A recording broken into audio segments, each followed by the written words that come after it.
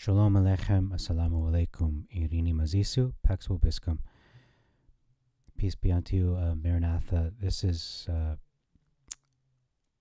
my previous video. I did a prayer uh, just to get in the right mindset, uh, the right mindset to do this video because uh, I've been meditating and uh, just meditating about what's been going on and listening to the coverage, watching the videos, reading updates, and this is escalating and escalating. I think it's uh, it's safe to say this is a war. It's not going to end next week or next month. It's going to be ongoing until there's some kind of uh, large enough event that puts an end to it. Uh, this could be what the prophet spoke of, where I, I see it going into different directions. Okay, um, number one direction, it could be to where the third temple is eventually built, and then the two witnesses appear, and so on. Uh, and then you have the seven years, where three and a half years, where Israel is allowed to make sacrifices and offerings, and then the sacrifices and offerings are put to an end, and then you have the three and a half years of Jacob's trouble. So I was going to make this video title it Jacob's Trouble, but that's clickbait, and that's not true, because Jake, Jacob's Trouble is really the last three and a half years of the set, the last seven year period before the return of Mashiach. So that's not what is happening right now. It is hor- horrendous. It's it's barbaric. It's just I don't have the words to besides what I've said. It's tragic. It's just monstrous and horrific what is happening right now in Israel. Um, you know, a lot of people will take both sides. They'll say, "Oh, I side with Palestine and Israel," or "I side with only pa- Palestine or Israel." Uh, this video, I'm not going to so much take sides about that. I'm just going to express what I've been uh, reading about and what I've been reading about, uh, not only in the news updates but also in scriptures. You can see the scripture open right now. So I see it going one of two ways. Again, as I expressed, the first possibility is where, excuse me, third temple is eventually rebuilt, and we're just getting into high gear with all the events of what the prophets wrote of Daniel, Isaiah, Jeremiah, and so on, and Zechariah. And you even have uh, what the book of Revelation describes going into full gear. Or the second option is Israel goes into captivity for an extended period period of time. We don't know how long, but that's what is also prophesied, uh, which seems to actually make sense thinking about it now. Because if it's really the last seven years, uh, are they going to only be in captivity for three and a half years? It's hard to say. I or I really don't know. We we don't know the step by step way that God is going to do things. So I'm just going to read. Um, before I read these uh, these verses that have uh, lined up for you the, uh, in Jeremiah and Daniel, I'm going to express my my uh, I don't know how to put it right now, but um, I do pray for Israel, all those who whose lives have been taken, whose lives are at the brink of being taken out, being snuffed out untimely, whether they're children, young women, families, you know, mothers, fathers, young men, the soldiers themselves of the IDF, and even uh, senior citizens and even Holocaust survivors who lived through that hell. Now they're going through another different uh, hell towards the end of their lives. My heart goes out to them. Uh, suffering in any way, shape, or form. Uh, when we see those suffering of any nation, we should empathize with them. We should uh, mourn with them. They're mourning, we should mourn with them. We should pray for Israel. And I know this is going to be hard to hear, but we should also pray for Palestine. we should pray for those who, who are persecuting Israel. It sounds counter, you know, like a weird oxymoron, but we're we're told to pray for our enemies, and and so uh, while I do pray for Israel, and for the people of Israel who are going through tremendous suffering and and being hunted down, persecuted, not even persecuted, really murdered and uh, raped and so on, abducted, held hostage, that their life is in the balance. I also pray for the enemies of Israel. Why?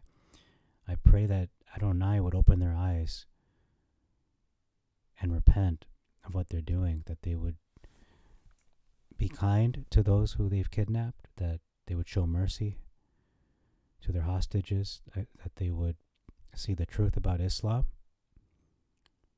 that they would be led to Yeshua, that they would repent. Because, to be honest, a lot of them don't even know what they're doing and, or why they're doing it. I believe they're just pawns in this big chessboard, and Adonai's moving the pieces ahead to fulfill his plan. Yes, they have accountability, everyone does for what they say and do, but ultimately, who's in control of everything? Adonai is.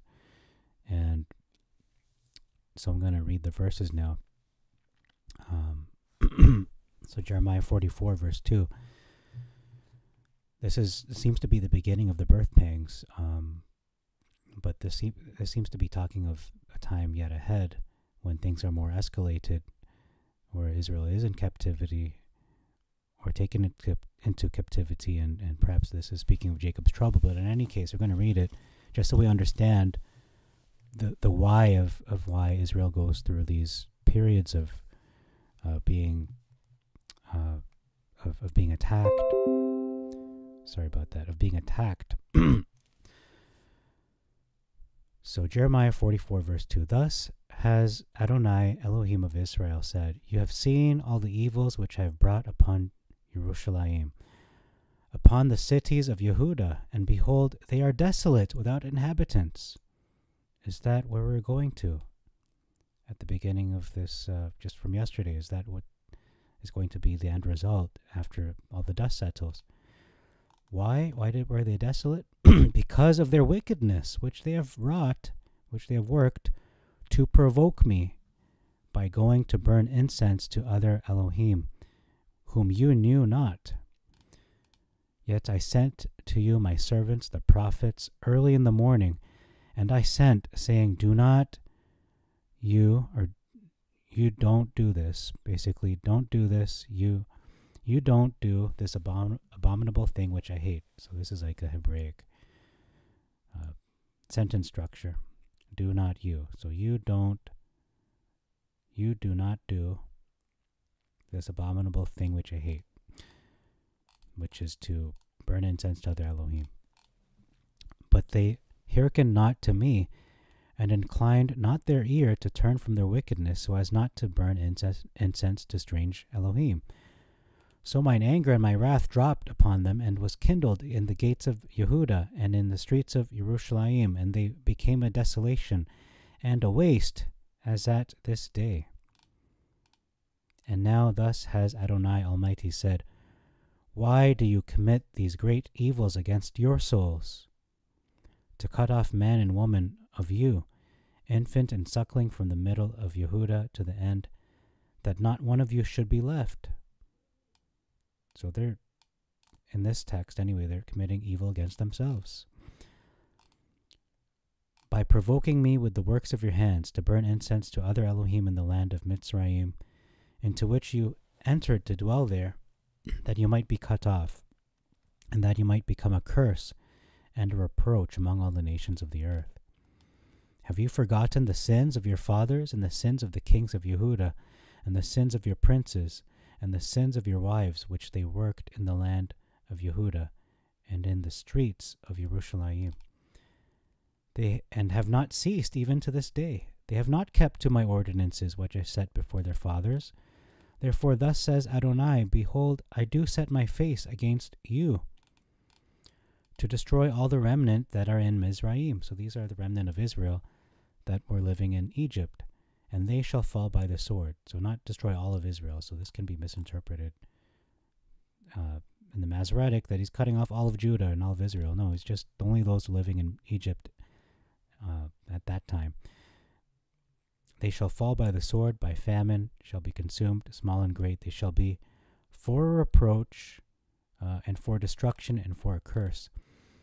And I will visit them that dwell in the land of Mizraim, as I visited Jerusalem, with sword and with famine. There shall not one be preserved of the remnant of Yehuda that sojourn in the land of Mizraim. So that you should underline that really. So that's not all of Judah. It's only those who live in Egypt at that time to return. Uh, to return to the land of Yehuda. So there's not going to be one that will return to Yehuda, to Judah, to which they hope in their hearts to return. They shall not return, but only they that escape. So only those that escape will return. then all the men that knew their wives. Okay, so this is uh, so you can see that that is one of the reasons why Israel goes through the cycles of chastisements and then being restored to the land. But this could be the final one, what we are going through right now, uh, what we are seeing, what we are witnessing in 2023. So I'm going to go to Daniel 9 now.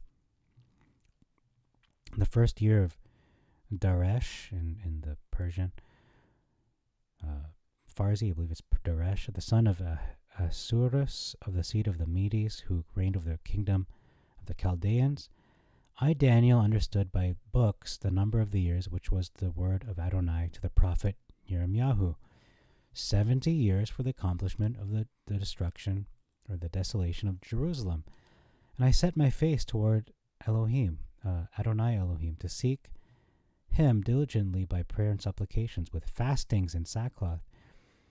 And I prayed to Adonai my Elohim and confessed and said, O Adonai, the great and wonderful Adon, uh, Elohim, keeping your, keeping your covenant and your mercy to them that love you and to them that keep your commandments, we have, we have sinned. So Daniel is saying, as, as a people, Israel, we have sinned. We have done iniquity. We have transgressed we have departed and turned aside from your commandments and from your judgments.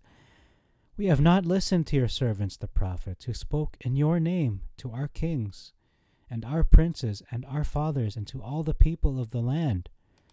To you, O Adonai, belongs righteousness, and to us belongs confusion of face, as at this day. To the men of Yehuda, to the dwellers in Jerusalem, to all Israel, to them that are near, to them that are far off in all the earth, wherever you have scattered them for the sin which they committed. So, why is Israel scattered? Or why do they get scattered in a diaspora time to time? Why are they put into captivity? For the sin, the sins which they committed. In you, O Adonai, is our righteousness, and to us confusion of face, and to our kings, and to our princes, to our fathers, for as much as we have sinned. To you, Adonai or Elohim, belong compassions and forgivenesses, whereas we have departed from you. Neither have we listened to the voice of Adonai or Elohim, to walk in his laws, which he set before us by the hands of his servants, the prophets. So we, we didn't walk in his Torah, in his commandments. Moreover, all Israel have transgressed your, your Torah and have refused to listen to your voice. Remember what Moses said I'm going to send you one like me that comes after me.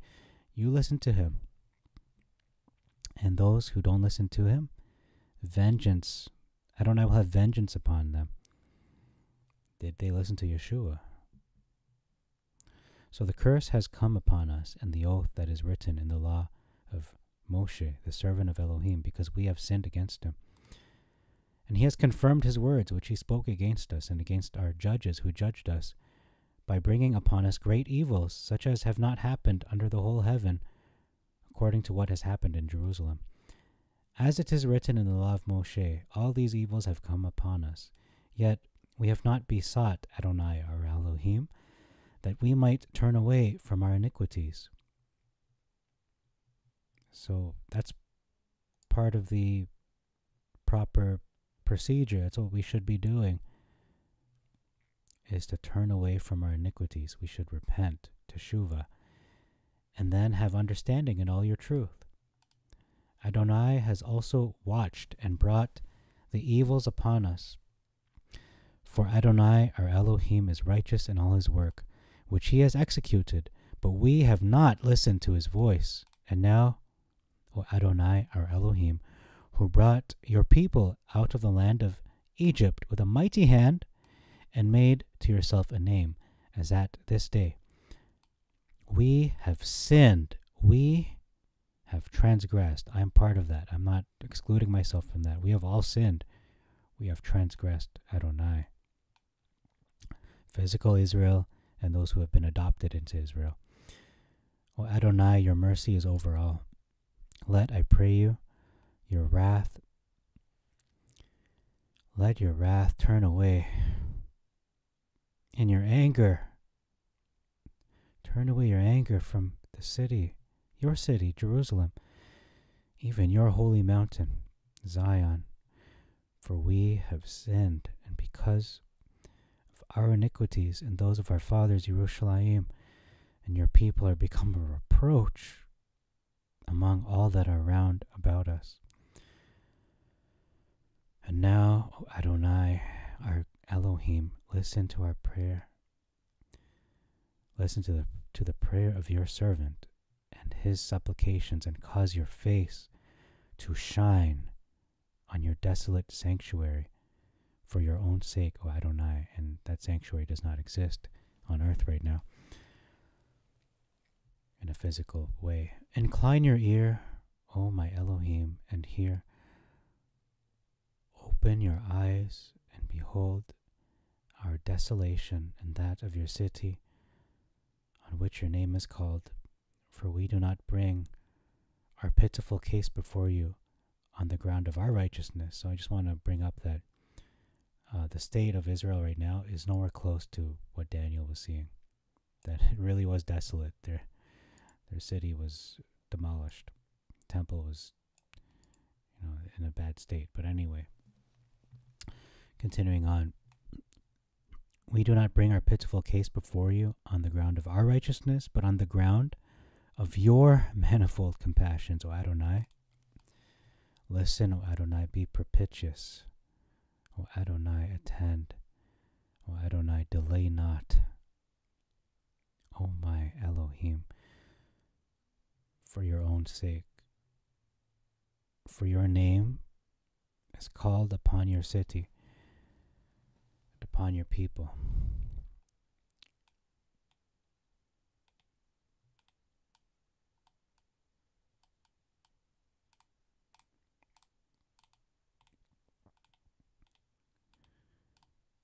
So, as much as I uh, open this video saying we, we should pray for Israel and those suffering, those innocent, caught in the crossfire of war. Um, we, I also pray for the enemies of Israel as well, that uh, that Adonai would turn them away uh, from their sins, and and He would also open their eyes to the truth about Him, that He is the true Elohim, and that they would have mercy on their captors and and those who they take hostage because they really don't know what they're doing. They they don't see that they're being used as pawns by Satan, but ultimately Adonai is working his plan ahead, pushing his plan forward. So, um, and we can see the reasons why these things happen. These these are chastisements that are happening to Israel, but not chastisements. I don't want this video to be misunderstood that Israel's being punished in order to be destroyed. That's that is not what is happening because, as Adonai promised, Israel will remain a nation before Him as long as the the moon and the sun exist in the sky. And uh, you know what? Let me just look that up for you, just so you don't believe everything I say. Okay, so uh, Jeremiah 31 is what I was looking for. I'm going to read it in its entirety because it, it is so powerful. At that time, says Adonai, I will be an Elohim to the family of Israel, and they shall be to me a people. Thus says Adonai, I found him warm in the wilderness with them that were slain with the sword. Go you and destroy not Israel. Adonai appeared to him from afar, saying, I have loved you with an everlasting love. Therefore have I drawn you in compassion. For I will build you, and you shall be built, O Virgin of Israel. You shall yet take your timbrel, and go forth with the party of them that make merry. For you have planted vineyards on the mountains of Samaria. You plant and praise. For it is a day when those that plead on the mountains of Ephraim shall call, saying, Arise you and go up to Zion, to the Lord our God, your God. For thus says Adonai to Jacob, You rejoice and exult over the head of the nations. Make proclamation and praise you.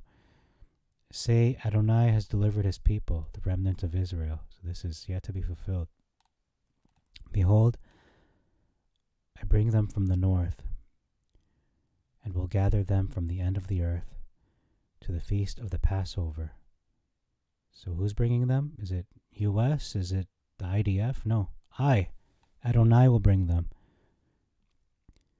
to the feast of the. Pa- he he never forgets his people. He'll never ever will. And the people shall beget a great multitude. They shall return here. They went forth with weeping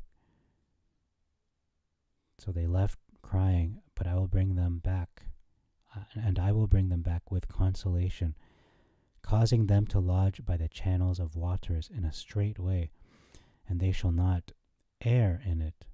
For I am become a father to Israel, and Ephraim is my firstborn. Hear the words of Adonai, you nations, and proclaim them to the islands afar off.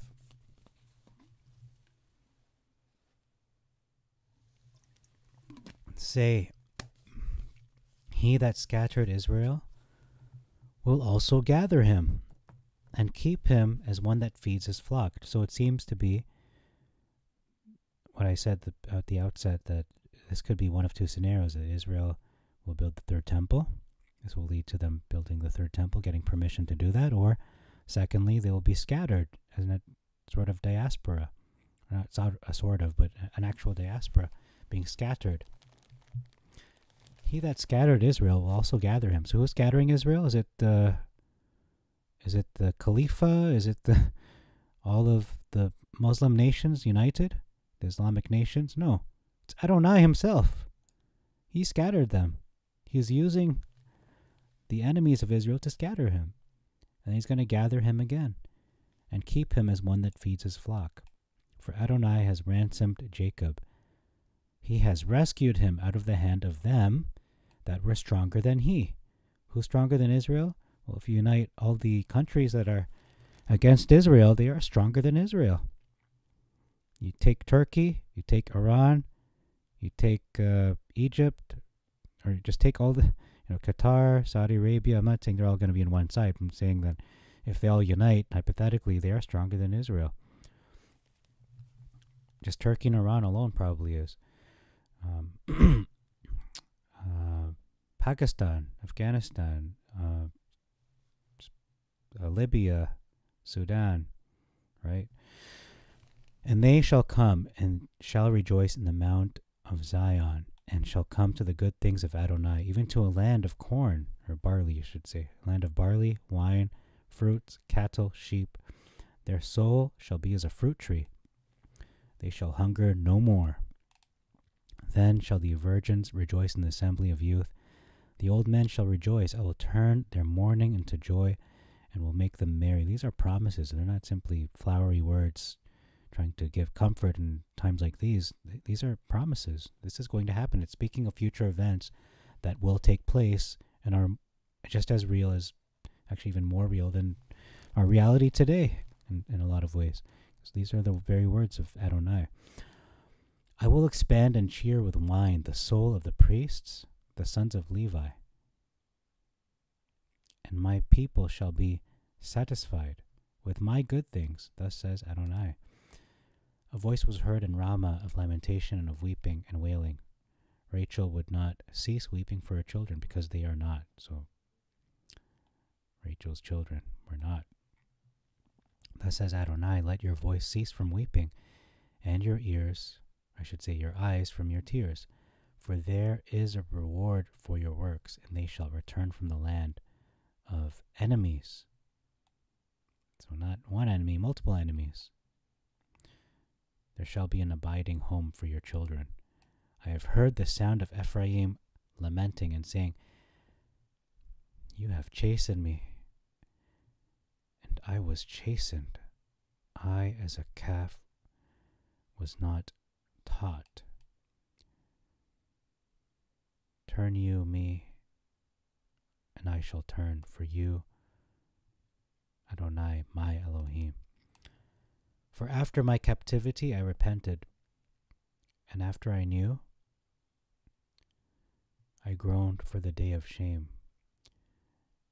and showed you that I bore reproach from my youth. Ephraim is a beloved son, a pleasing child to me. For because my words are in him, I will surely remember him. Therefore I made haste to help him. I will surely have mercy upon him, saith Adonai. Prepare yourself, O Zion, execute vengeance. Look to your ways. Return, O Virgin of Israel, by the way by which you went, returning return mourning to your cities. How long, O disgraced daughter, wilt thou turn away? For Adonai has created safety for a new plantation. Men shall go about in safety. for thus saith Adonai, they shall yet speak this word in the land of Yehuda, and in the cities thereof, when I shall turn his captivity. Blessed be Adonai on his righteous holy mountain. And there shall be dwellers in the cities of Yehuda and in all his land, together with the husbandman, and the shepherd shall go forth with the flock. For I have saturated every thirsting soul and filled every hungry soul. Therefore I awake and beheld, and my sleep was sweet to me. Okay, this is uh, Jeremiah saying, I, I woke up and my sleep was sweet. So he had a really good rest. Therefore, behold, the days come, say, saith Adonai, when I will sow the house of Israel and the house of Yehuda with the seed of man and the seed of beast. I don't even know how to interpret that right now, especially this part, seed of beast. I don't. Anyway, and it shall come to pass that as I watched over them to pull down and to afflict, which is what's happening now, so will I watch over them to build and to plant, saith Adonai. In those days they shall certainly not say, The, the fathers ate a sour grape, and the children's teeth were set on edge. But every one shall die in his own sin. And the teeth of him that eats the sour grape shall be set on edge. Behold, the days come, says Adonai, when I will make a new covenant with the house of Israel and with the house of Yehuda, not according to the covenant which I made with their fathers in the day when I took hold of their hand to bring them out of the land of Mizraim. For they abode not in my covenant, and I disregarded them, saith Adonai. For this is my covenant which I will make with the house of Israel after those days, saith Adonai. I will surely put my laws into their mind. So it's not a maybe, it, it's a guarantee. I will surely put my laws laws, plural, into their mind and write them on their hearts. And I will be to them an Elohim, and they shall be to me a people. They shall not at all teach everyone his citizen and everyone his brother, saying, Know Adonai. For all, for all shall know me, from the least of them to the greatest of them. For I will be merciful to their iniquities, and their sins I will remember no more. Thus saith Adonai, who gives the sun for light by day, the moon and the stars for light by night, and makes a roaring in the sea, so that the waves thereof roar. Adonai Almighty is his name. If these ordinances cease from before me, the sun and the moon and the stars, then shall the family of Israel cease to be a nation before me forever. So I read all that, chapter 31, just to get to here. Israel is not being chastised or suffering right now in order to be destroyed. God forbid, heaven forbid. They shall remain a remnant of Israel as long as the sun and the moon and the stars exist. Though the sky should be raised to a greater height, says Adonai, and though the ground of the earth should be sunk lower beneath, yet I will not, I will not cast off the family of Israel, says Adonai, for all that they have done. Yes, they've sinned, but they will not be cast off. Behold, the days come, says Adonai, when the city shall be built to Adonai from the tower of Hananeel to the gate of the corner, and the measurement of it shall proceed in front of them as far as the hills of Gareb, and it shall be compassed with a circular wall of choice stones. And all the Asaramoth, even to Nachal Kidron, as far as the corner of the horse gate eastward, shall be holiness to Adonai, set apart. It shall not fail any more, and it shall not be destroyed forever. So, in closing, I know this is a long video. Uh, maybe I might stop it and make a third video. Probably will do that. So, thank you for your uh, time and attention. Uh, until next time, Shalom Aleichem, Assalamu Alaikum, Irini Mazisu Pax Vobiscum. Peace be unto peace be unto you, Maranatha. Oh, actually, before I end the video, I want to say uh, something about praying for Israel. Given all that I've read in this video and even the previous video where I read the Mita, how are we to pray? I just answered it earlier. I prayed for Israel in terms of, you know, that they would repent, that they would turn from their sins, that they uh, those innocent would be spared. That uh, pray for the enemies of Israel too, because they don't know what they're doing, and that Adonai would give them a merciful heart to their captors, to those who they've taken captive, that they would repent and would be given a chance to uh, to know Yeshua as well, whether in this life or in the next, and they would see that what they've done they were used as tools of Satan. But, but they were used for, as instruments to carry out the plan of Elohim as well, unbeknownst to them. So, but everyone's accountable for their words and actions. So, uh, and lastly, I want to pray ultimately, as I prayed uh, in the previous video, that Adonai's will be done. That's the most important thing.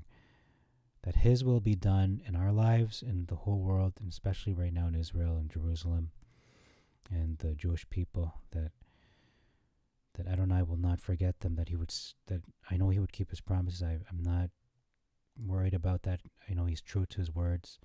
That he he will fulfill his promises. He made a covenant with Abraham, and if he would not live up to his part, then let him. Essentially, he said, "Let me become like one of these animals that are ripped in two." And uh, he keeps his promises. He keeps his covenant. He's faithful forever to Israel.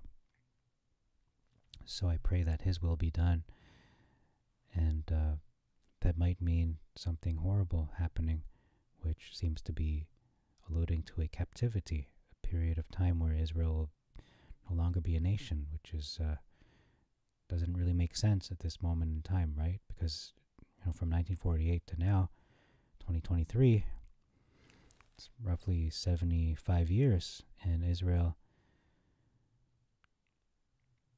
It seems like, well, what was the point then? That Israel got the land back in 1948, only to be dispersed again.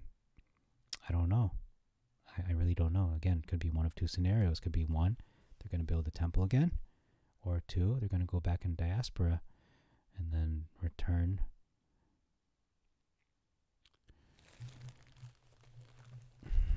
Okay, you know what could be a third option. but I'm thinking, okay, if if if they are allowed to build their temple by some by some uh, circumstance that we just don't see at this moment, and then they're able to sacrifice and so on. The temple is rebuilt, you know, so they can sacrifice. The Levites are reinstituted. The Sanhedrin is reinstituted. But then you also have the the caliphate. The Islamic caliphate will also rise up, if not before then. And then you have the Antichrist appearing on the scene. You have the two witnesses appearing on the scene. So everything is just being uh, really very much uh, un- un- unfolding before our eyes. Will that happen in the next, you know, 10, 20 years, 30, 40 years from now? I don't know. We don't. We're not given uh, that knowledge. We can we can know the season to some degree, uh, but is that first scenario, like I said, the rebuilding of the temple, is that what this is leading to? That the temple is going to be rebuilt, that Israel will take over the Temple Mount and they'll be free to pray on it and worship on it and, you know, eventually build that, lay the cornerstone of the temple and so on. Or, scenario two, are they going to captivity? Because if, cause if that happens, like, how does that make sense? Okay, so let's say they go into captivity, all right? So how are they going to be rescued? Well, it's going to be Adonai himself rescuing them, isn't it? So if Adonai rescues them, and then they rebuild the temple and so on, and then the Antichrist appears, it doesn't see it doesn't really make sense that second scenario to me anymore. Because if Antichrist appears and Adonai's here, then it's going to be like a you know one-on-one war. You see Adonai, whereas the first scenario makes more sense to be honest. That this is leading towards the first te- uh, third temple being built because uh, Yeshua is supposed to appear from heaven after the Antichrist is revealed, not before. See what I mean? So, unless scenario two is somewhat modified, let me explain. So, let's say Israel is taken to captivity throughout all the Muslim nations, you know, Yemen, Turkey, Iran, so on, etc. They're just spread out throughout the earth again, as they were before 1948. And then a portion of them is allowed to return to the land for through whatever circumstances. Maybe it's a merciful caliph, the Khalifa, Khilafa, whatever, the, the leader of the Islamic Caliphate says, okay, you know, let's let them go to their land, just a portion of them, not all of them. And they rebuild the temple they're allowed to do sacrifices, the Levites, and so on. And uh, then the sacrifices are put to an end. But but throughout all this, all these events where the third temple is rebuilt, a lot of Israel is still in captivity, remains in captivity. Not not everyone is freed. Right. So that's a possible modification to plan B or plan two, scenario two. But scenario one, it's just what's happening now, and then the third temple's rebuilt as part of the aftermath of all this this war developing, and then uh, in the middle of the three and a half years, you have the end of the sacrifices, and then you have Jacob's trouble, where in those three and a half years they're put into captivity, but it's only for three and a half years. It just doesn't seem like a long time, and then they're rescued from it. So you know what? I, I really don't know. That that is a tough one. Um, so is three and a half years enough time for people to say, oh, they've become a reproach and, you know, they've suffered for what, three and a half years? Or scenario B or two could be a longer time because we're, we're only in, depending on whatever calendar you're looking at, between 5,700 years after uh, Yeshua or 5,800 years. Uh, oh, no, not after Yeshua. I mean, since the creation of Adam because it's only been 2023 uh, years, give or take, since that time. So that would be 6,000 years, uh, which could be. Now, again, it could happen within the next, uh, let's see, 2044. It could be within the next 20 years where this, all these things happen. As soon as that, in the next two decades, or it could happen as long as, uh, as far ahead as uh, 200 years from now, because uh, five seven. Uh, I don't know the exact year in the Jewish calendar, but five seven seven eight something like that. Let me let me look it up in Google right now. But that would be.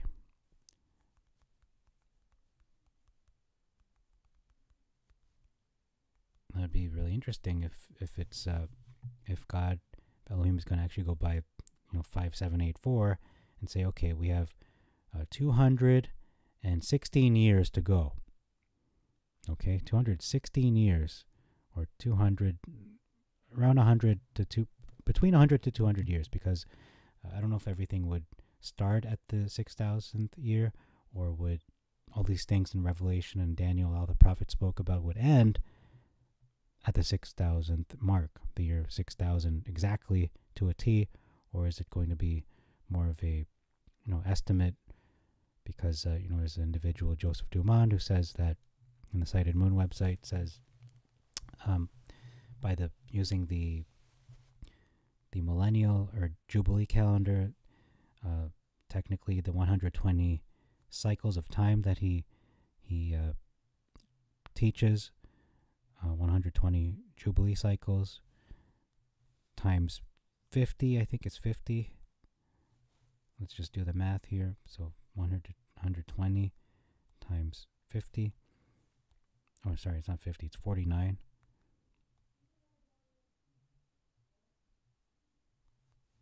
Is 5880. And according to him, we're at the year 58. Uh, well, anyway, the five, five year 5880, according to Joseph Dumond, is 2044. And so he, he might be right that by 2044, all these things might happen, uh, might start by then or might end by then. But it's really, time will tell whether it's going to be 5880 or 2044, or if it's going to be, uh, as the Jewish calendar reckons, 5784, which is the year right now. Okay. So if we add uh, 216 roughly to now, we would be at the year. Oh, hold on. 2023 plus 216. So by the year 2239, uh, all these things in Revelation will, if they haven't started yet, they'll be finished by then. According to the Jewish calendar, okay, that's the Jewish calendar, but by Joseph Dumond's uh, reckoning, which he's saying it's the year five eight. Uh, you know what? Let me just go to his website really quick. Sighted Moon. Let's see what year he says it is. I believe it's five eight five eight something like that. So if we're going by his calendar and we're looking at the the round, nice round number of of uh, six thousand, not not his uh, not his reckoning of 120 Jubilee cycles. So 5859 is his reckoning. So if we look at 5859, we only have 141 years. Okay, 141 would be 6,000. So 141 years from now, 2023, we've got 2,164. So we have two different, we have three different benchmarks to be honest. Okay, we've got we've got what I just said, 2044, number one scenario, and then the previous one, the Jewish calendar, whatever year that was, and then we've got uh, this scenario 2164, but this is actually scenario uh, two because it's we're going in order. So 2044, 2164, or the other one, whatever year that was. Can't remember right now. Um, okay, what was it again? So 2164, let's see, uh, 5784. Okay, 5784. Let's do the math just once again. Can get it clear in our minds. 216 years from now. Okay, there it is. So 216 plus 2023. So we have 2239 is the other possibility, or 2239.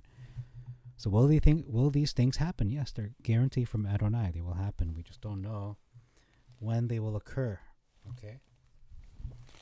So that's all I have for you for this video. I I wanted to get into the right mindset and the right heart condition to, to do this video uh, because I know there's such a we're accountable for all our actions and our words. So I don't want to do this video in a hasty way and talk about these things in an unfeeling way. It's not just you know the presentation saying you know I have to.